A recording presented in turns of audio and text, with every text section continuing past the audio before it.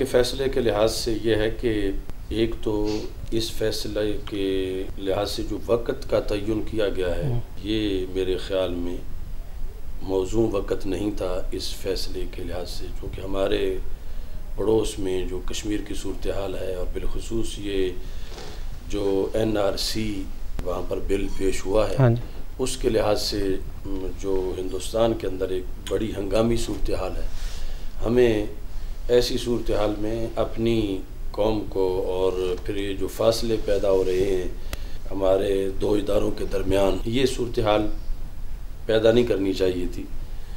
دوسرا یہ ہے کہ فیصلے کے لحاظ سے جو تقاضے ہیں، ایک تو ایک فیصلہ ہوا کیا ہے، دوسرا یہ ہے کہ اس کے لحاظ سے جو تقاضے ہیں شرعی طور پر، وہ اگر پورے کر کے فیصلہ سنایا جائے تو پھر ظاہر ہے کہ کسی کو بھی اس پر کوئی اعتراض نہیں ہونا چاہیے۔ نہیں، وہ تو میجر صاحب کا جو بیان آیا، اس میں انہوں نے کہا جی سماعت کا موقع نہیں دیا گیا۔ مشرف صاحب کو عدالت تو بارہا کہتی رہی تھی کہ آپ ویڈیو بیان ریکارڈ کروا لیں، آپ پاکستان آ جائیں، آپ کو پورا پروٹوکول سہولیات دی جائیں گی، آپ عدالت آئیں، عدالت سے بیان ریکارڈ کر کے اب باہر چلے جائیں۔ لیکن اس چیز کو ویل تو نہیں کیا گیا۔ ظاہر ہے کہ یعنی وہ جو میں کہنا چاہتا ہوں کہ شرعی طور پر تقاضے پورے ہونا، اس میں جانبین کا دخل ہے کہ جن کا کیس تھا، جن پر وہ بھی اپنے آپ کو پیش کرتے۔ اور جو ان پر ایلیگیشن تھا اور غداری کے لحاظ سے جو معاملات تھے، سب کو اپنا موقف وہ آ کر پیش کرتے۔ اور ادھر سے یعنی مکمل طور پر اس کے جتنے بھی سورسز آزاد سورسز تھے، ان کے لحاظ سے اس پر مکمل ڈیبیٹ کرائی جاتی۔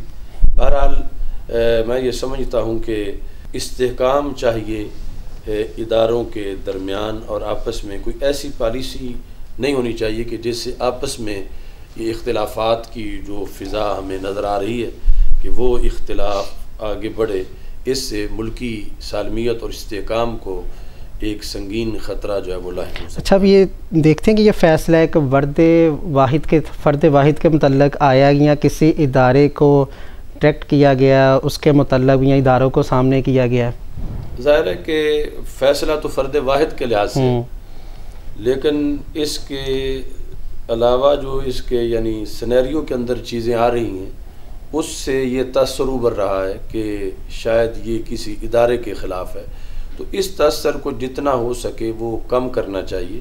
لیکن اگر یعنی میرٹ پر جب بات ہوتی ہے تو اس میں ظاہر ہے کہ کوئی بھی قانون سے بالا تر نہیں ہے اور قانون کی گرفت ضرور ہونی چاہیے۔ اچھا اس فیصلے کے کیا سیاسی اثرات مرتب ہوں گے؟ نون لیگ کو دیکھیں، پیپلز پارٹی کو دیکھیں، جماعت اسلامی کو دیکھیں، ان کے جو بیانات آئے ہیں، یہ ایک پیج پہ ہیں، یہ بہت خوش ہیں۔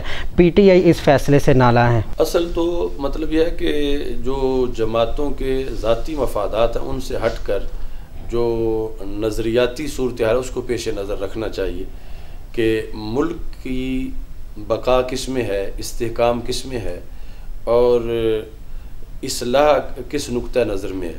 اس بنیاد پر جس حد تک اس کے اندر یہ پہلو ہے کہ ایک شخص اٹھے اور سارے نظام کو وہ لپیٹ دے، ایسا نہیں ہونا چاہیے اور اس پر پابندی ہونی چاہیے اور اس لحاظ سے آئندہ کے لیے بھی سبق ہونا چاہیے کچھ لوگوں کے لیے تاکہ وہ ایسی کوئی صورتحال پیدا نہ کریں۔ یہ پہلو اس کا ظاہر ہے کہ بالکل واضح ہے اور یہ ٹھیک ہے۔ لیکن دوسری لحاظ سے یہ جو جن پارٹیز کا آپ ذکر کر رہے ہیں، چونکہ کسی نہ کسی طرح یہ لوگ اپنے مفادات کا کوئی دروازہ ڈھونڈتے ہیں۔ تو جب وہ دروازہ انہیں کسی طرف سے بھی ملتا ہے، تو ان کی ہاں یا نہ ان کے مفادات کے لحاظ سے ہوتی ہے، نہ کہ اس لحاظ سے کہ ملک اور قوم کی بہتری کس میں ہے۔ اس بنیاد پر میرے نقطہ نظر میں یہ ہے کہ ہمیں اپنے اداروں کے استحکام اور بالخصوص جو ملکی ڈھانچہ ہے، اس کے لیے ایسا روڈ میپ بنانا چاہیے کہ مستقبل میں ایک قرار استحکام آئے۔ نہ یہ کہ اگاڑ پچھاڑ کی وجہ سے سب صورتحال تربتر ہوتی رہے اور باری باری آ کر وہ اپنا وقت گزاریں اور پھر چلے جائیں۔ یعنی جو یہ بہتر سال ہمیں اس طرح کی صورتحال کا سامنا نظر آ رہا ہے اسی وجہ سے کوئی یعنی مستقل پالیسی کا نہ ہونا اور اداروں کے اندر ایک پالیسی کا تسلسل نہ ہونا اس کی وجہ سے ہی آج ہمیں بہت سی کمزوریاں بھی لاحق ہیں۔ تو یہ ایک جو نظام چل رہا ہے اس نظام کی حفاظت بھی ضروری ہے کہ بار بار وہ جمہوریت کا نظام نہ لپٹے۔ لیکن اس میں اصلاح بھی ضروری ہے کہ جمہوریت کے نام پر جن لوگوں نے اس ملک کو لوٹا ہے، کھایا ہے، ان کا محاسبہ بھی ضروری ہے۔ تو یہ دونوں پہلو جو ہیں وہ پیش نظر رکھنے چاہیے۔ اچھا کیا اس میں یہ حکومت کی آپ نہلی نہیں سمجھتے؟ ایک جو حاضر سروس جنرل ہے ہمارے، ان کی جو مدت ملازمت ہے، اس میں کوئی وہ قوانین نہیں بنا سکے، عدالت میں کوئی ٹھوس ثبوت نہیں وہ پیش کر سکے، پھر عدالت عدالت چھ ماہ کا کیا نا سپریم کورٹ ایکسٹینڈ کرتی ہے، چھ ماہ کے اندر آپ قوانین بنائیں۔ اس کیس کو بھی وہ کیا صحیح طرح ہینڈل نہیں کر پائی اس میں حکومت کی کتنی ناہلی ہے؟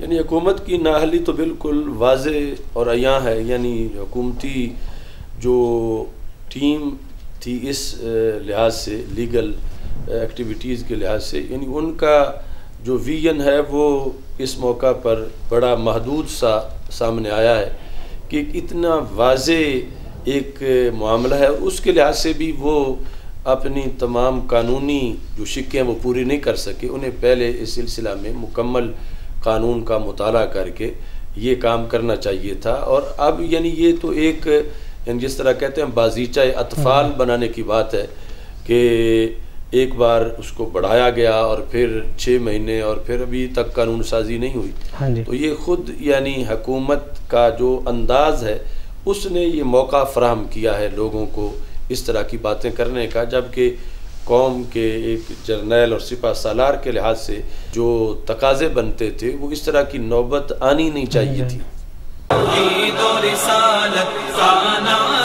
دنیا میں لگانے نکلے